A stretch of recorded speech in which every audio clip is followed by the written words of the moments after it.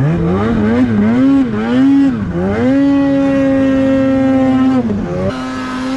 you go.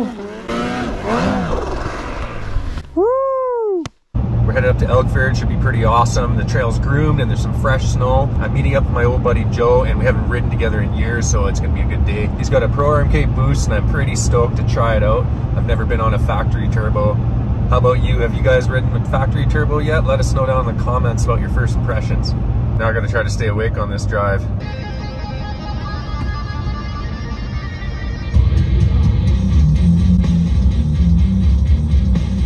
Am I losing my mind, or is that the biggest dog you've ever seen?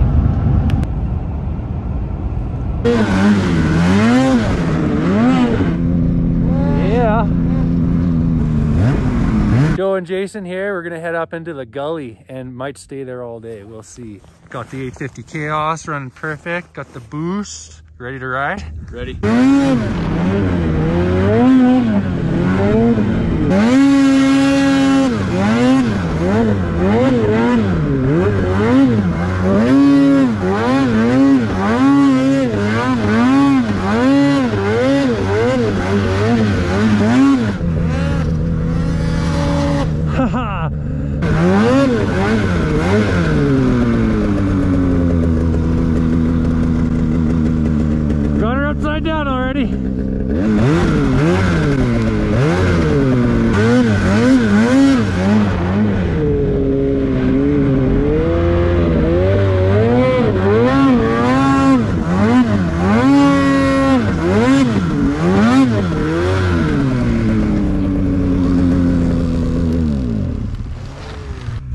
Ha ha ha.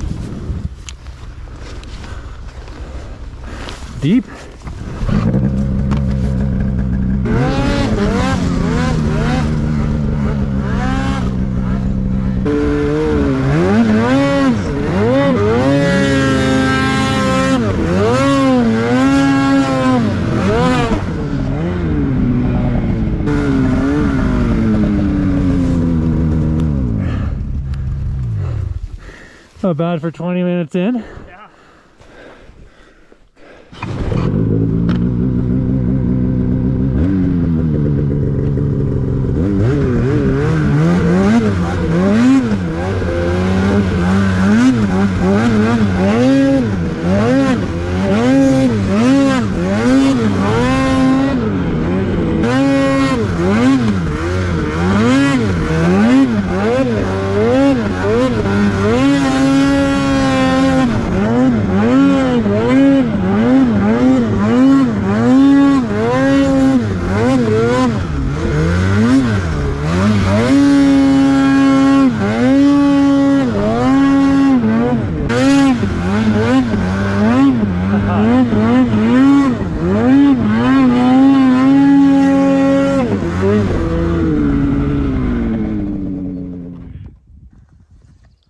Smith Basin.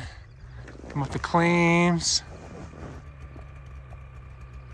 Oh, we're unstuck. The boosty. I think I'm gonna go back to an NA, but it's a debate. Wait and go to a 9R, or just buy an 850 and put two grand into it to get it closer to the power of a 9R. For me, it's I could mod this, but I want the 9R. I'll never be happy with an 850 modified. Always knowing that it's not the 9R, right? Don't worry, I won't wreck it. Oh yeah, I won't wreck it. I'm not worried at all. Today. I'll uh Stop there and look at it and be like, did I lose any more paddles? Oh nice, it actually comes up as Cavalier too. It's just Yeah. programmed to the sled. Yeah, well, I just signed into your group, right? So Oh right, okay. I have never actually done it. Colin did it online. The boost man.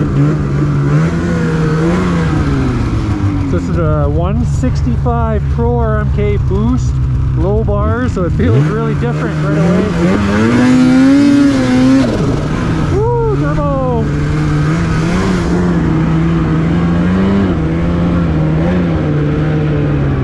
Right away, you notice how planted it feels and heavy on the front.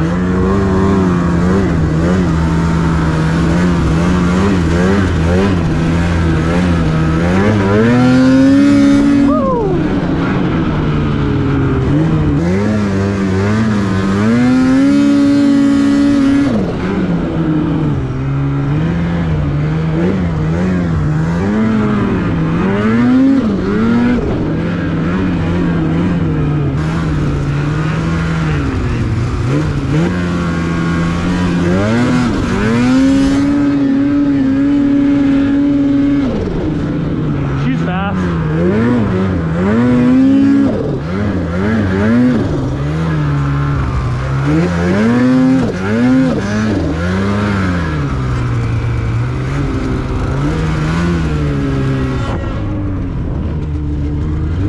Oh, you can tell he's liking the Khaos. He's already ripping some wheelies.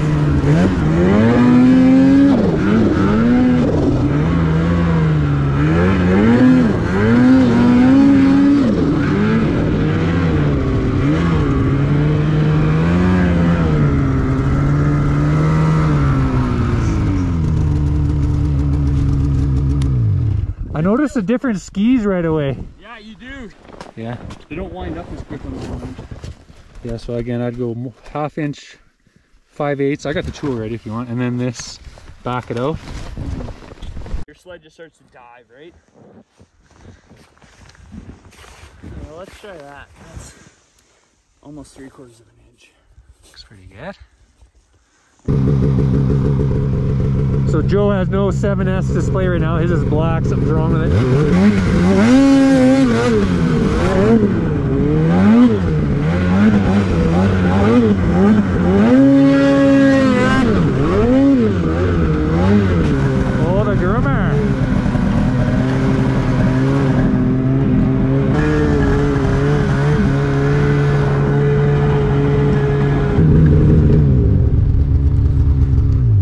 somebody stole the sign or something, hey? Remember used to say Le Chateau? Oh yeah, on the shitter, yeah. That's I a- never noticed. Unless it fell off. Woo! Uh, uh, uh, uh.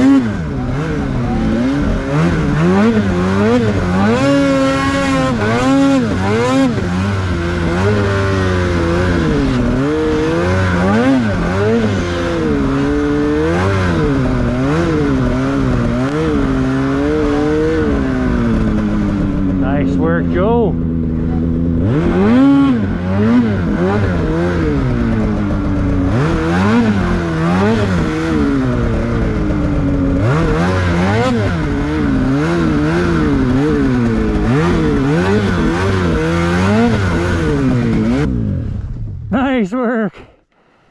That's a pretty fun line, eh? Yeah, I've hit it a few times this year. It's perfect. So that's not considered a stock, So you're still at two. That's what I could do if I had all my paddles. I would just run it like that, man. More track speed. Joe's track is missing all of the paddles up the middle of his track. Every single one. Did that on one stuck pin and wiggle. Must hit some rocks. Here we are in Mirror Lake. It's pretty tracked up, but look at this sunshine. This is beauty.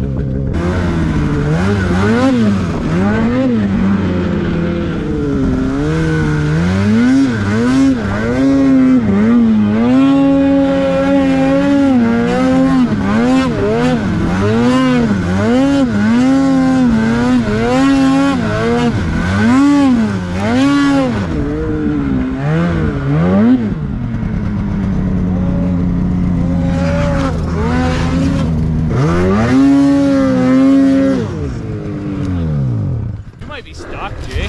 Here we are on the main side of Mirror Lake. We're gonna do a little drag race.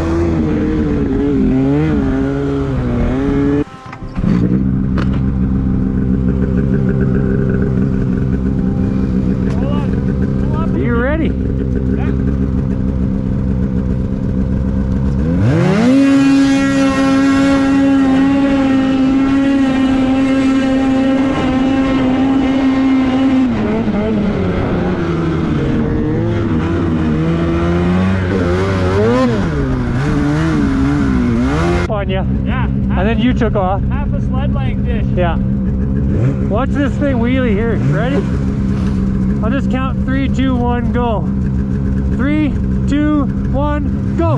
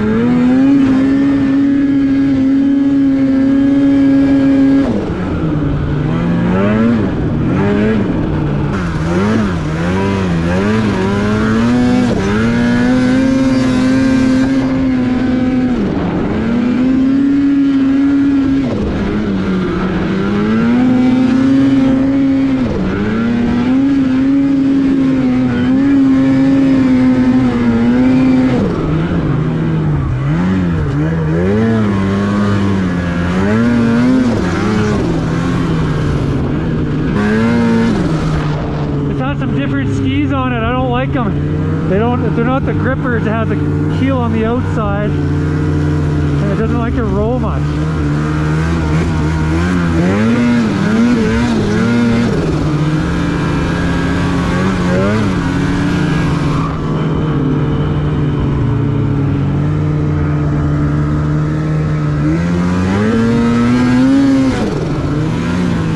No, I don't know. Getting tired just doing this on it.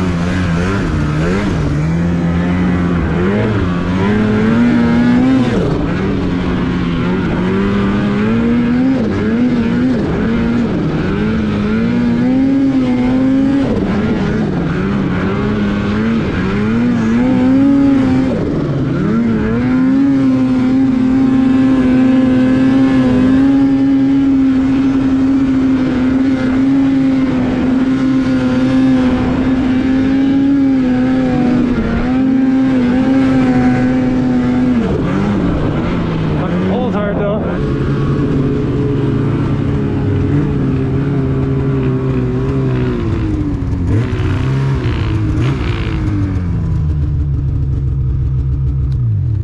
Really notice the skis. Yeah, There, I'm fighting it. 100%. So I think that's your your- the biggest your- per issue is the ski. keep your skis, Yeah, keep your track, and I'll just trade you. yeah, exactly.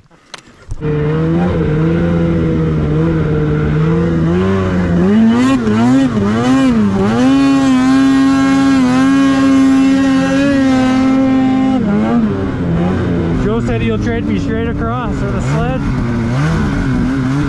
That's how much the 850 is, uh, how much easier it is to ride. The boost is fun when you're when you're on the power, skis lift up. It's pretty cool. And I'm thinking about my decision on the 9R, and I'm pretty happy with it. However, if that if that sled had a 155, uh, the proper skis on it, better setup, Khaos. I'd like it a bit more. I'm just so used to how playful and lightweight this thing feels. I thought this felt heavy before until I jumped on that.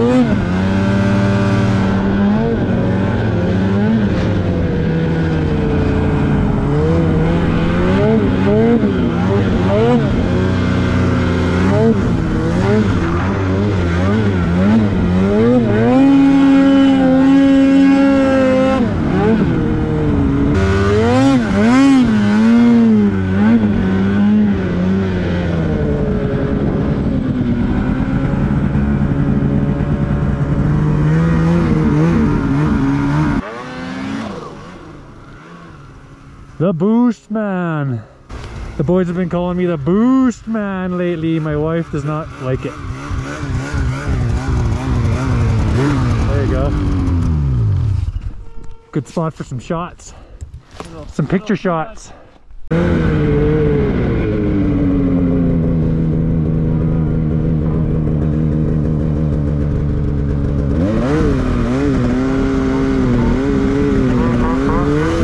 I was just coming down here to do this. Oh, I'm gonna go do it.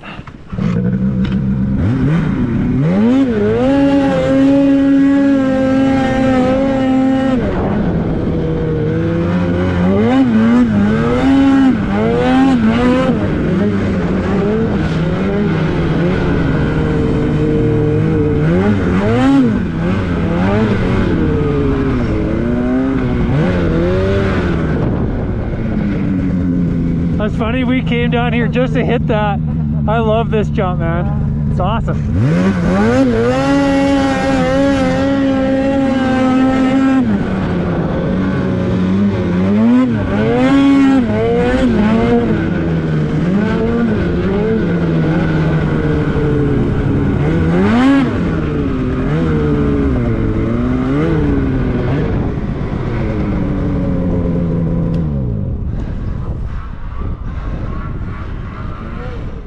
Woo!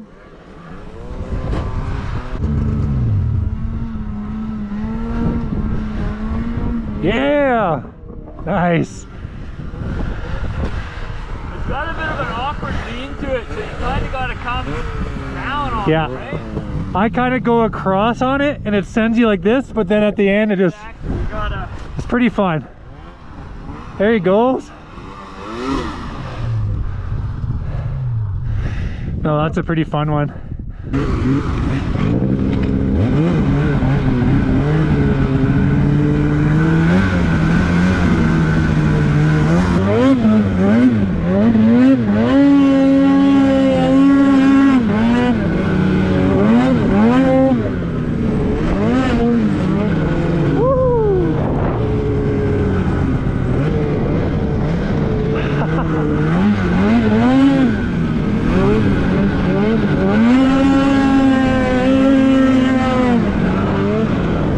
Big hole.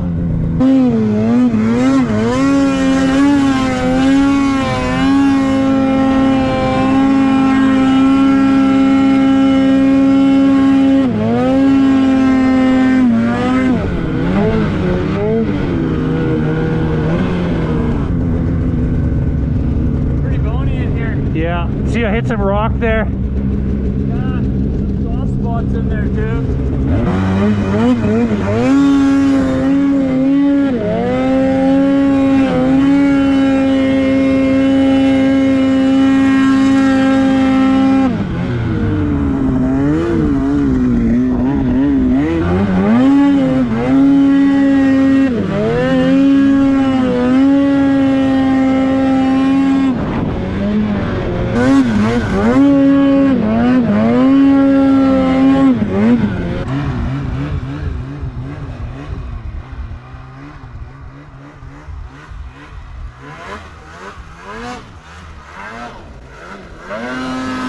There you go. Woo! That look good.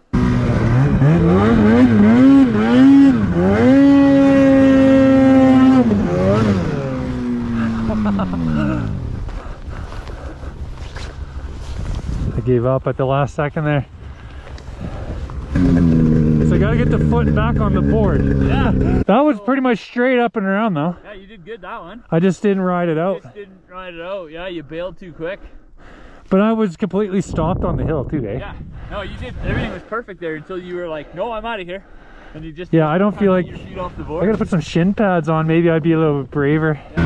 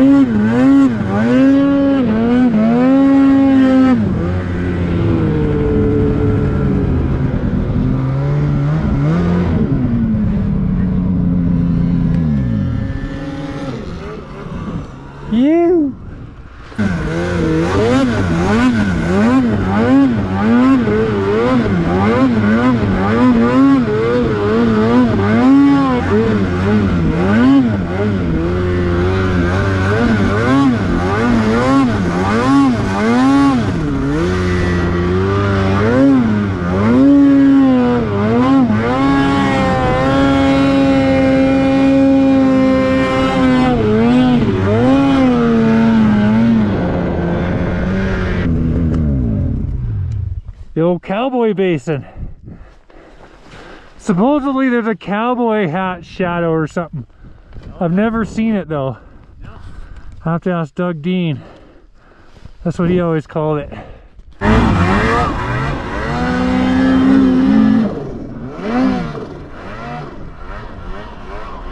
Turbo. Perfect day. Look at this bluebird sky. A couple clouds. Usually we come in here, it's so, so hard to see flat light. We got spoiled today though, a little bit of fresh snow. No tracks. Yeah.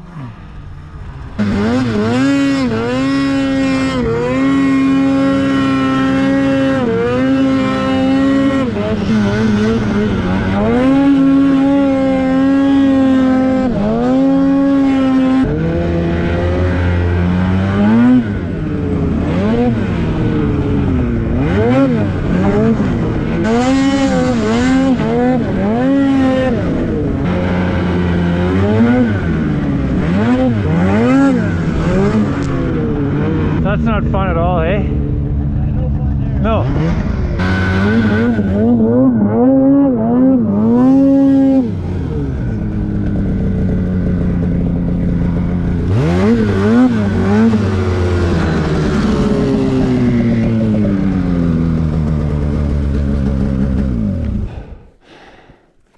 Lunch is definitely cooked.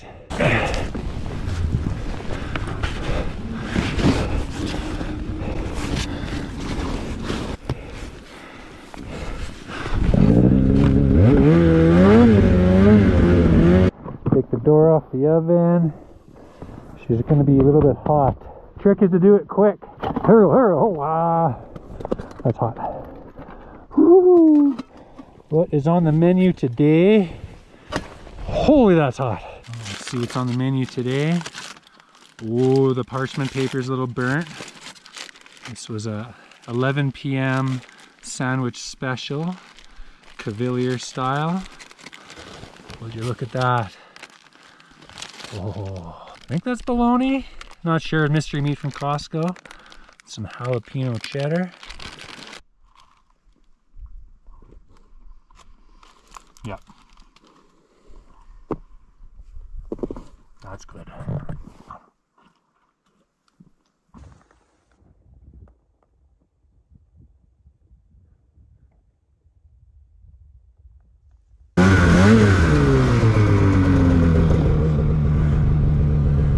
Nice work.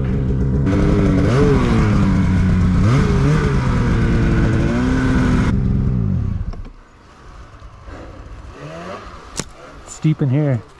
Look at that.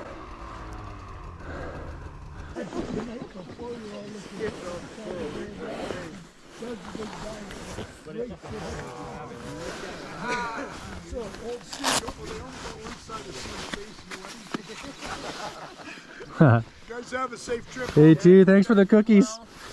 That was so good.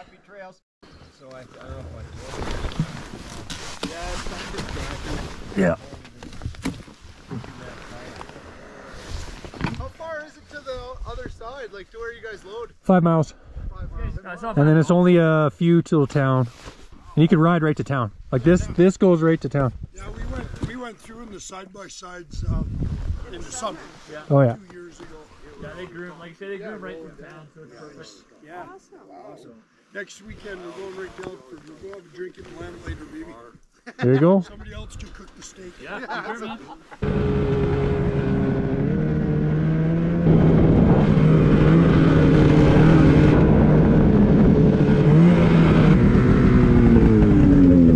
We're green.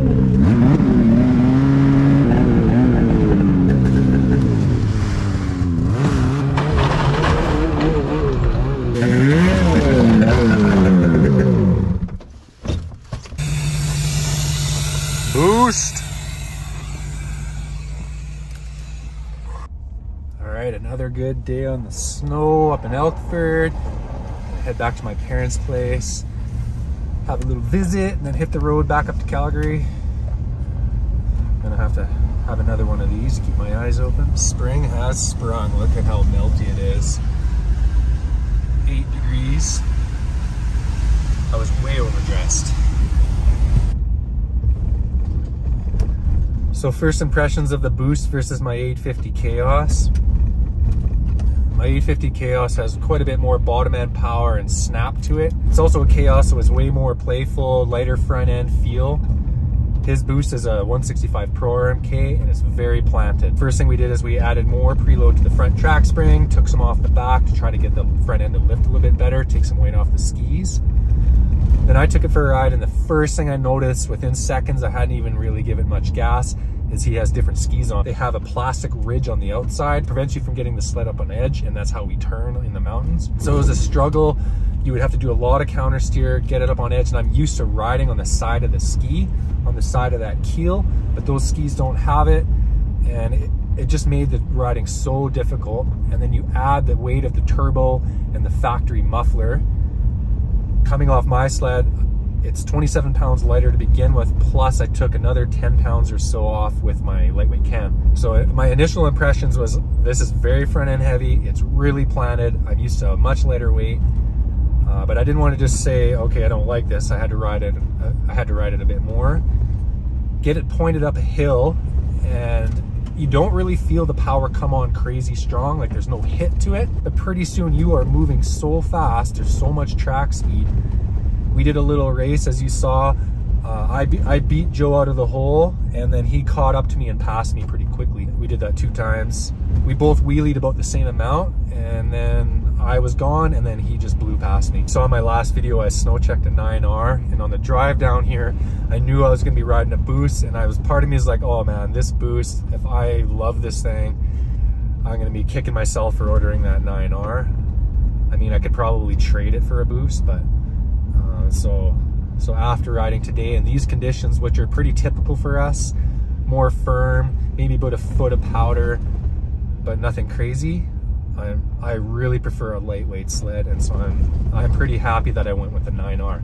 But actually, after riding my 850 today, and just how how awesome it was ripping, I don't even think I need the 9R. I just want it. I just I like fancy things, right? So if you're like me and you ride kind of around Fernie and you're not getting a ton of deep days, I'm going 9R all day. I just love that lightweight. Five or 10 minutes on that boost and I could already feel my arms, uh, the amount of weight that you have to throw around. Once the thing's moving though and the skis are off the ground, it doesn't feel too much heavier, but it's not for me. So some things I liked about the boost, crazy track speed, it's cool. Some things I didn't like, too much weight on the front end, not enough bottom end power, and you need to set a gripper skis on it. Things I like about the Khaos, tons of bottom end power, rippy, lightweight, and it's a Khaos, so it has a much lighter front end feel, much more playful. That's the way I've been riding my whole life. I've just never been a turbo guy. I've never even ridden one before. We have some steep terrain around here, but we don't get the big, deep days. If I was going out to Revelstoke, I'd get a Khaos boost, probably a 155. But for out here, I'm going naturally aspirated all day long. So I've been checking out the analytics on my YouTube channel, and turns out only 3% of you viewers are subscribed to my channel. So what's in it for you? If you subscribe, you're not gonna miss my next video. I'll pop up once in a while in your feed, and it's gonna help me out a ton. So hit that button for me, thanks.